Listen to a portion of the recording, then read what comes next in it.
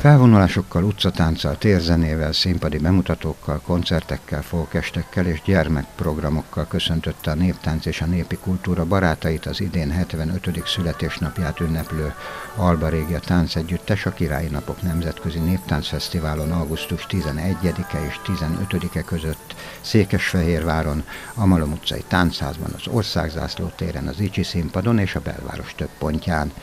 A fesztivál záró gála előtt a táncosok felvonulással köszöntötték a várost, majd Székesfehérvár önkormányzata nevében Lerner volt alpolgármester, és Juhász Zsófia az Alba Rége Táncegyesület elnöke mondott köszöntőt a vendégcsoportoknak az öt nap csodájáért. Nagyon szeretnénk, hogyha jövőre ugyanezt a, e, nem, nem csak a színvilágot hozhatnánk abból a szempontból, hogy nemzetközi lesz a fesztiválunk, hanem ezt a minőséget is, mert három olyan vendégország, vendégcsoportja volt itt nálunk Székesfehérváron, akik nagyon magas szinten művelik a saját kultúrájuknak a bemutatását. A házigazda Alba Régia Táncegyesület meghívására a vendéglátók és a Duna Művész Együttes mellett 2024-ben újra a világ különböző pontjairól érkező táncegyüttesek látogattak el városunkba. 75 éves az Alba Régia táncegyüttes, és én, én szeretném, pont kérdeztem itt valamikor, szerintetek lesz Arte 100, és mindegyikünk egyértelműen rávágta, hogy le, lesz, nem biztos, hogy velünk, hiszen azért az még messze van, de igyekszünk utánpótlásokat nevelni minden fronton, nem csak a, a táncegyütteseinkben, nem csak a csoportvezetők élén,